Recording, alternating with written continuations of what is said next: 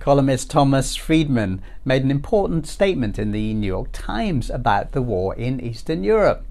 It is vital that this be perceived as Putin versus the world, not Putin versus America, he wrote. I have bad news for him. The world is overwhelmingly choosing neutrality. Let's do some numbers. Most countries on the planet expressed disapproval of the invasion, as one would expect. A number have opted for sanctions but they're difficult to count precisely because they trigger unavoidable secondary sanctions.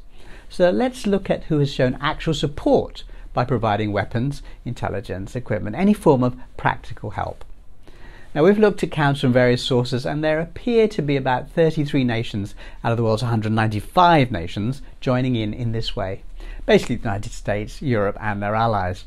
What that means is that only one out of six of the world's nations are participating. Many are tiny Luxembourg, North Macedonia, Slovenia, Latvia, Estonia. These countries have total national populations smaller than ordinary individual cities in Asia.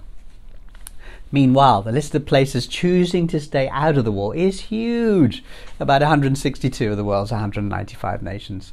This list includes the world's most populous nations, including China, India, Indonesia, and indeed most Asian nations and most African nations.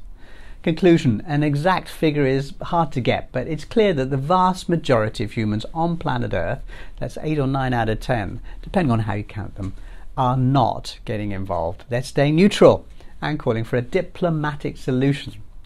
Not sure if anyone is listening. Peace.